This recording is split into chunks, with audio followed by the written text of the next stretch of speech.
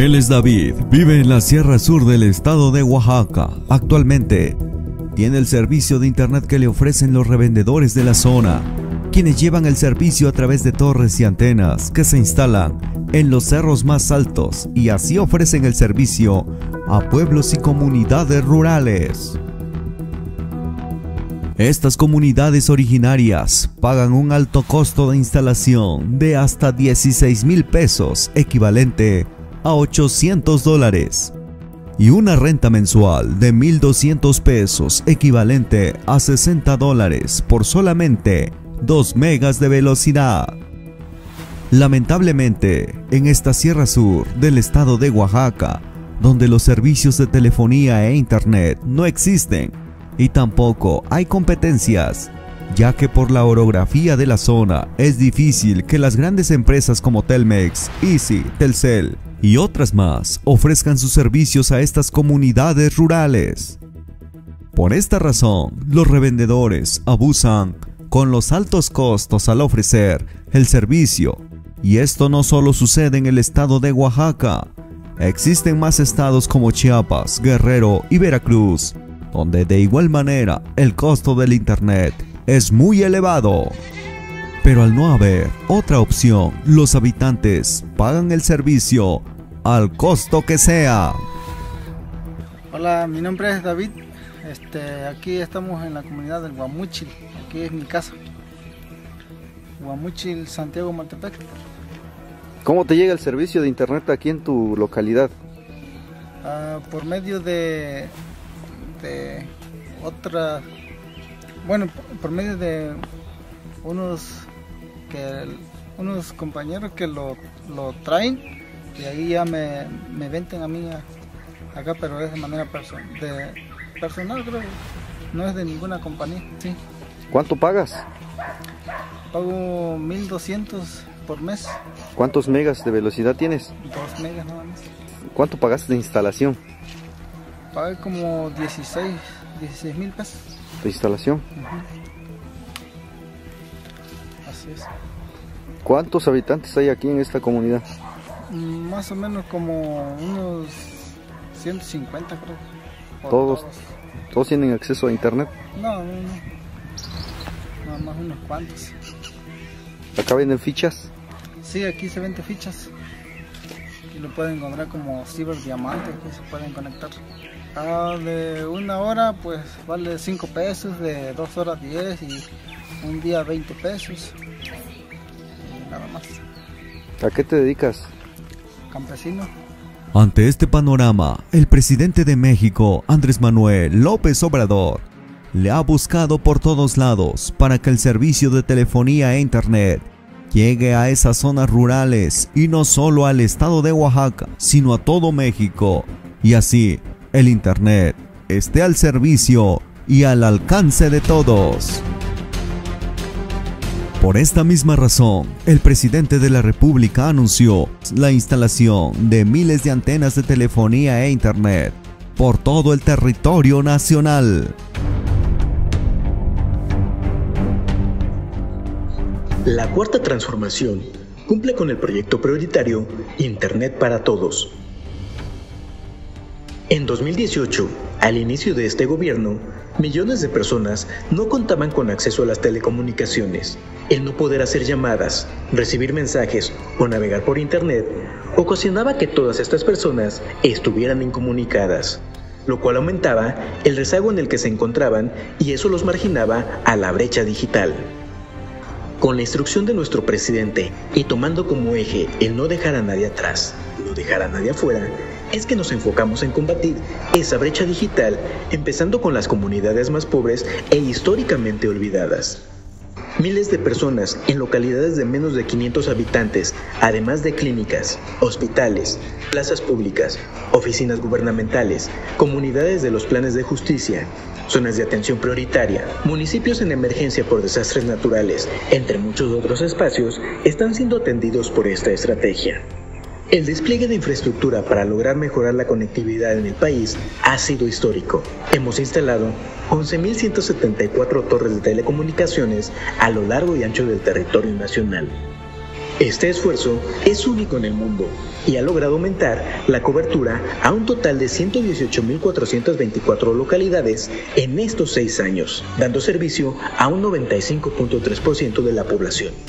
Saber que la gente puede comunicarse con su familia, saber que puede dar una, la información de su salud, de su estado actual, tiene muchísima relevancia. Y creo que el poder ser parte de me llena la vida de satisfacción. gracias a eso vamos a tener llamadas, internet y comunicación con las familias. Muchas gracias por esto y de todos los compañeros aquí. La instalación de puntos de acceso gratuito a Internet en todo el territorio nacional permite que miles de estudiantes, trabajadores y público en general puedan navegar en la red sin ningún costo utilizando la fibra óptica y conexiones satelitales. Hemos logrado conectar a personas en los lugares más remotos con la topografía más compleja. Sin duda esto es de gran utilidad para los jóvenes. Hoy en día, de hecho, nuestros estudiantes, como en todas las demás carreras y instituciones y universidades, incluso en preparatorias, los estudiantes ya usan su celular para todo y nosotros aprovechamos esa coyuntura para que ellos hagan investigación bibliográfica por medio de su celular, por lo tanto sería o va a ser y es de hecho una gran herramienta que les permite avanzar en sus estudios. En cuanto a la telefonía e Internet móvil, a pesar de que la cobertura ha crecido gracias a esta estrategia, aún hay miles de personas que no tienen la capacidad económica para poder pagar estos servicios, por lo que en coordinación con Promptel y servidores de la Nación, se ha implementado el programa social Conectividad para el Bienestar garantizando el acceso a las telecomunicaciones a miles de personas que ahora son beneficiarios de este servicio sin costo.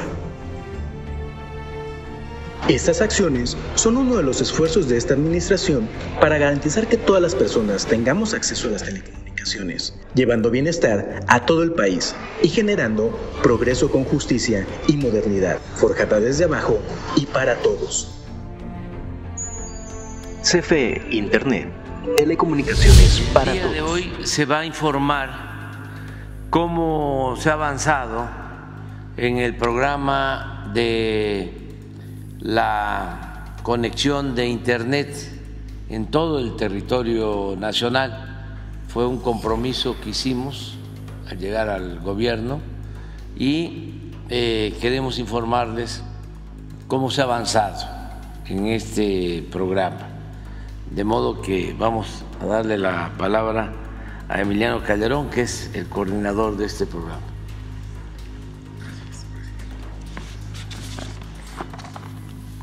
Con su permiso, señor presidente, eh, buenos días a todas y a todos. Hoy vamos a exponer sobre el proyecto estratégico de Internet para Todos. Esta tarea prioritaria tiene la finalidad de conectar a toda la población del país con Internet mediante diversas estrategias y tecnologías.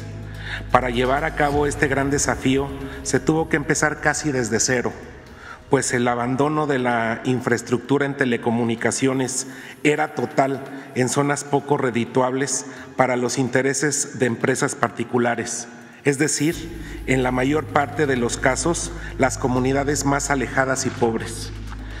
Desde el inicio del sexenio, nuestro presidente convocó y se entrevistó con los directores generales de grandes empresas internacionales de tecnología, para que llevaran a cabo este gran despliegue, mismas que declinaron por la complejidad que implica. Es así como se crea la empresa productiva subsidiaria CFE Telecomunicaciones e Internet para Todos, arropada por la Comisión Federal de Electricidad, con el objetivo de desplegar conectividad en todas las poblaciones que, que no la tenían, usando y aprovechando toda la experiencia, infraestructura y personal de la Comisión Federal de Electricidad, cuya misión hace 86 años fue conectar al país con energía eléctrica, la misión ahora es conectarlo con Internet. Y como en aquellos años, no pararemos hasta lograr este nuevo objetivo. El despliegue que se ha llevado a cabo por parte del Gobierno de México no tiene precedentes en la historia de nuestro país. Este despliegue contempla múltiples tecnologías de conectividad, como el presidente nos instruyó, buscamos y usamos todos los recursos tecnológicos que existen en el mundo para conectar al país. Por un lado estamos instalando torres de telefonía celular que dan un servicio de telefonía e internet por medio de un chip que se instala en un teléfono celular. De forma paralela, se están instalando equipos Wi-Fi que dan internet gratuito en sitios públicos, dando prioridad a las zonas donde actualmente no existe cobertura de telefonía.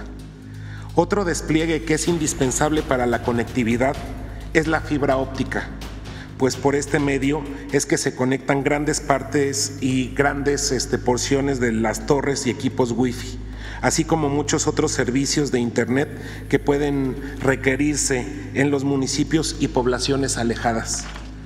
Con este despliegue de fibra óptica se abre toda una oportunidad de conectividad a las zonas que nunca estuvieron conectadas, pues se está construyendo una red de alta capacidad y acceso para todo el país.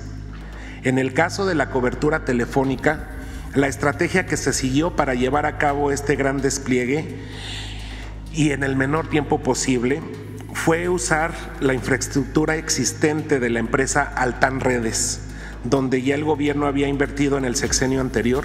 Nosotros la potenciamos, construyendo antenas nuevas desde la CFE y así toda esta infraestructura se complementa con las redes existentes de los operadores comerciales que ya funcionan en muchos lugares.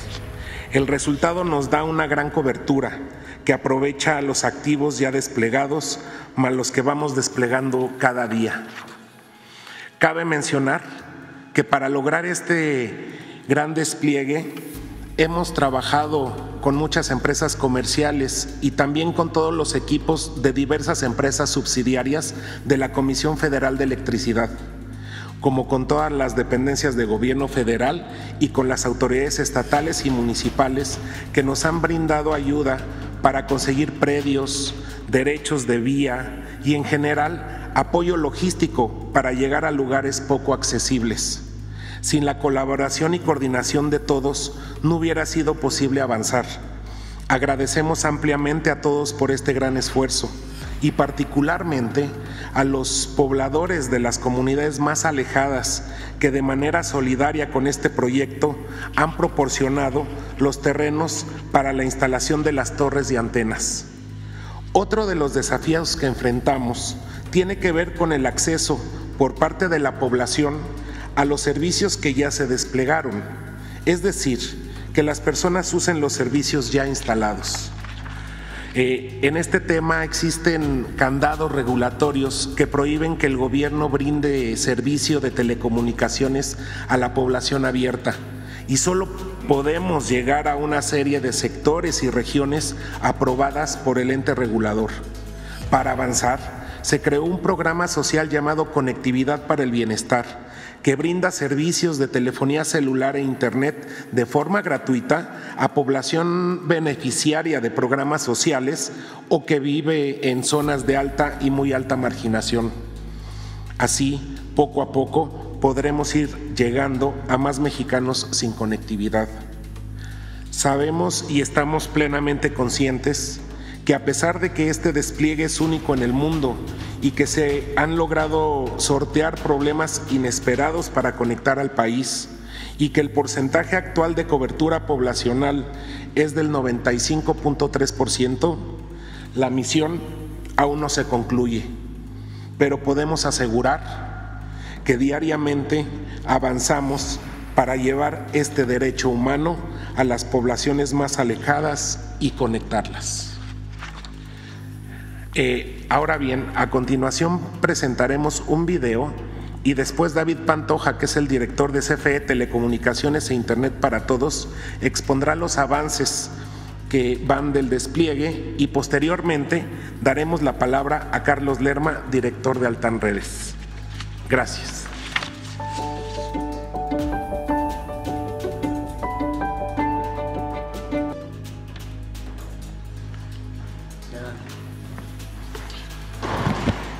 Buenos días, señor presidente.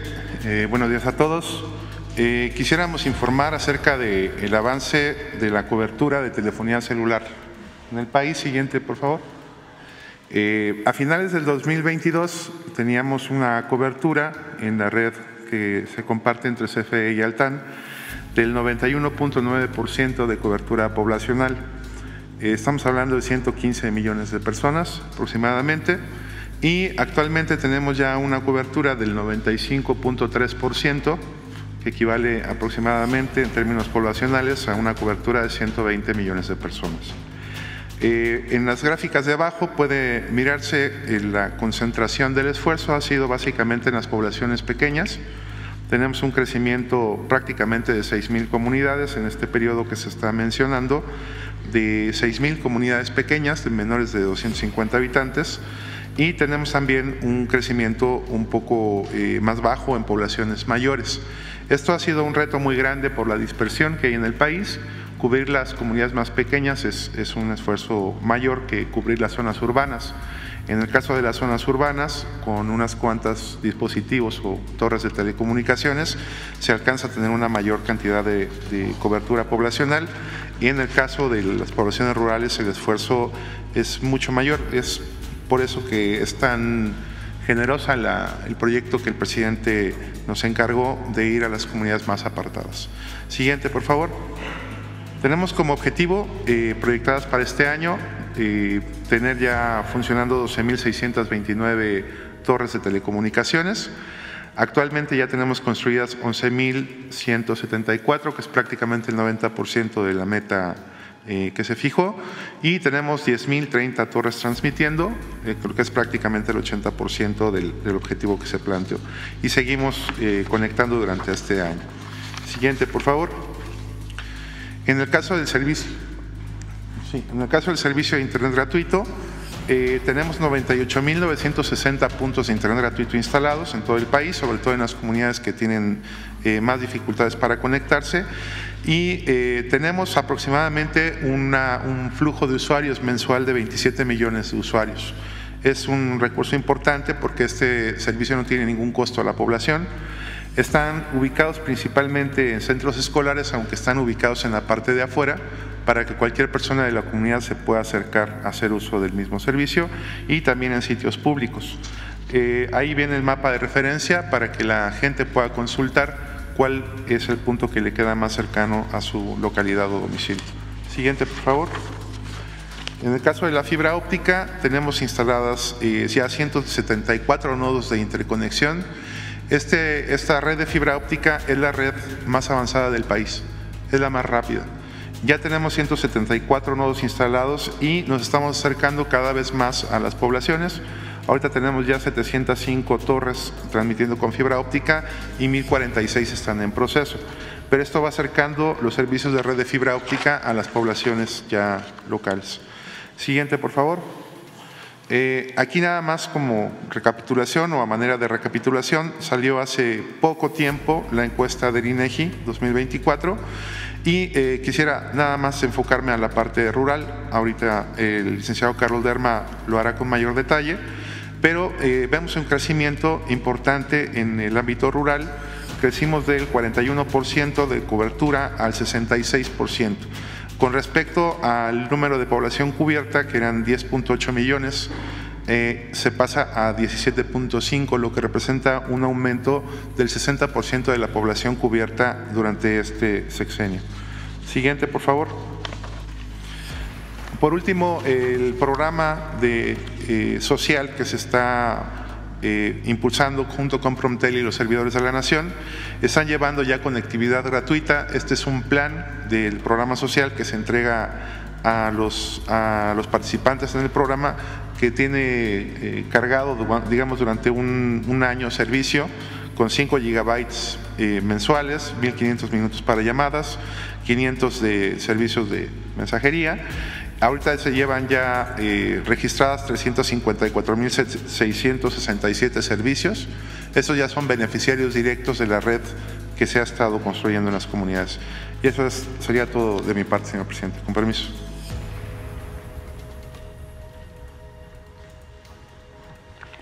Con su permiso, señor presidente. Buenos días a todos y a todas. Hace dos años que el gobierno federal participa más activamente en el proyecto de Altan Redes con recursos de la Banca de Desarrollo para apoyar el objetivo de dar acceso a Internet a todos y todas las mexicanos.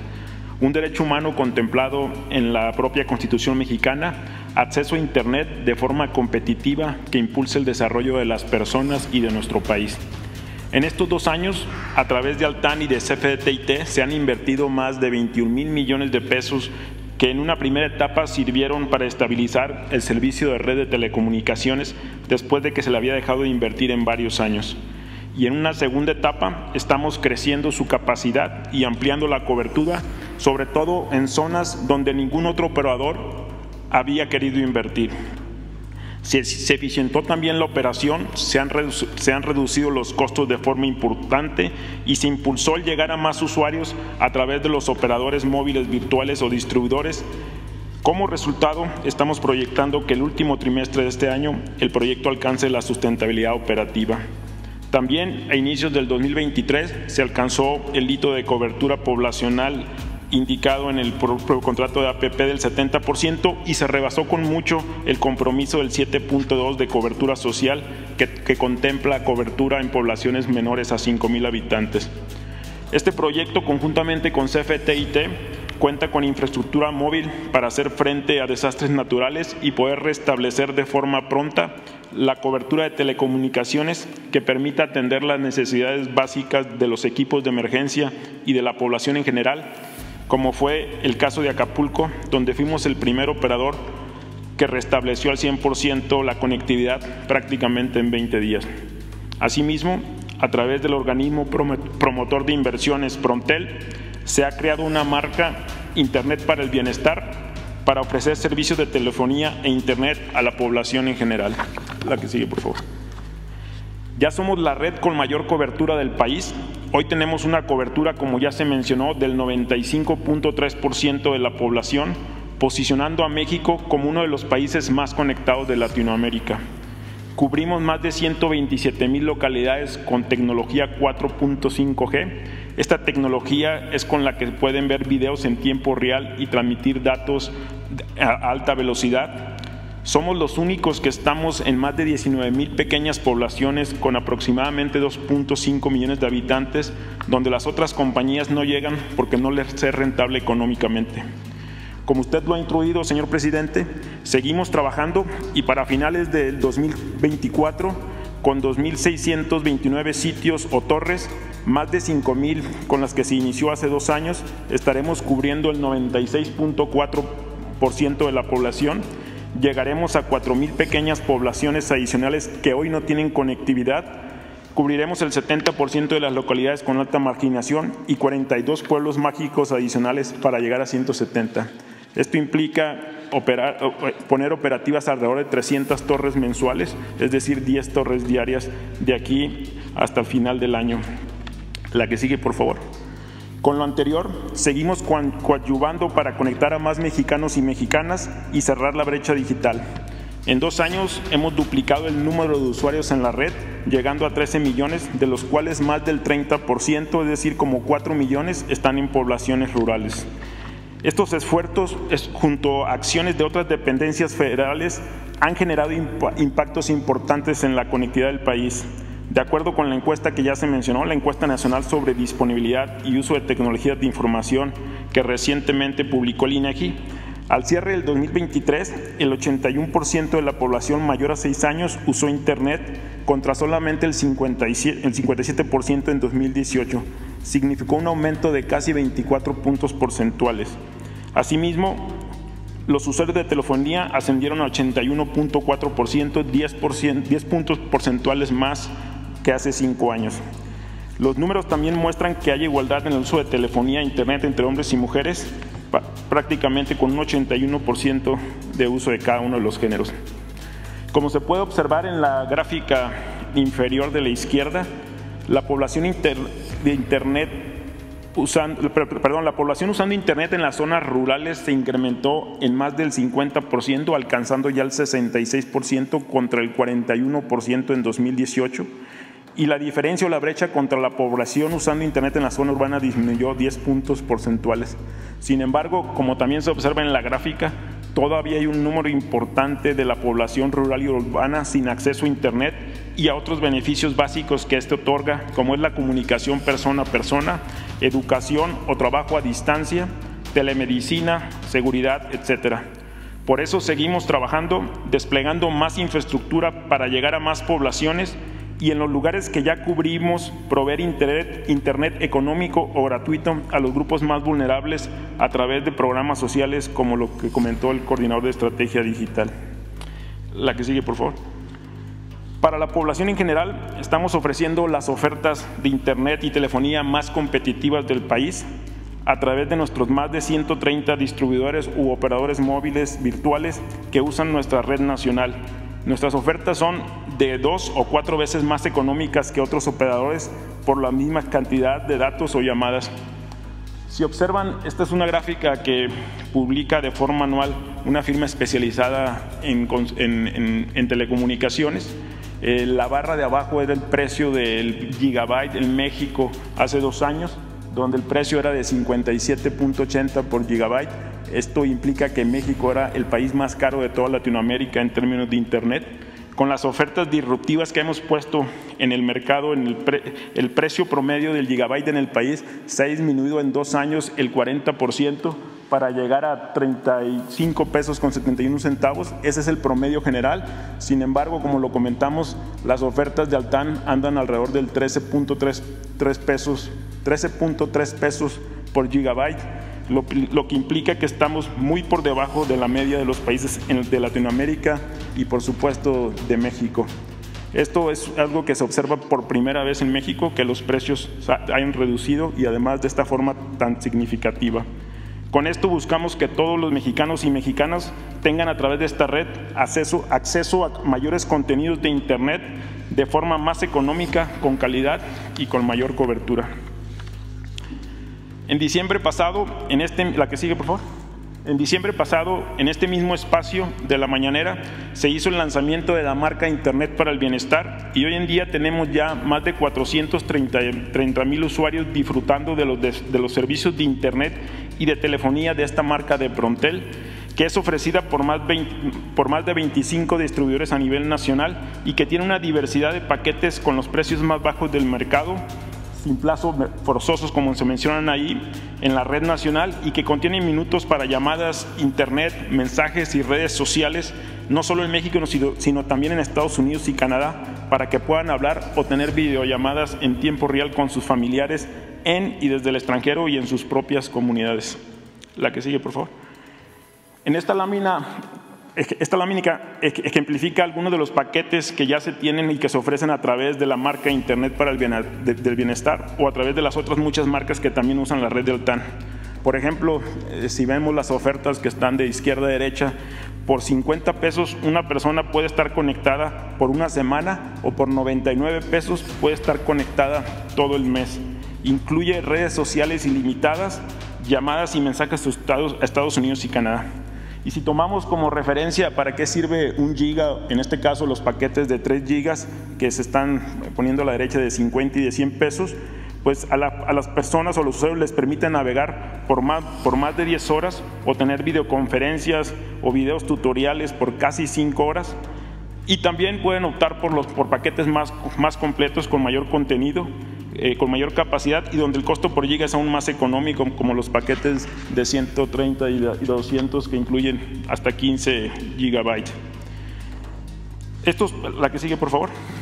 Estos paquetes o las recargas los, los, pueden adquirir directamente con nuestros operadores o distribuidores autorizados, también en el centro de atención telefónica, en, en el teléfono que aparece aquí en la pantalla, en la página de internet que es www Internet para el bienestar.mx o en la aplicación de Internet para el Bienestar.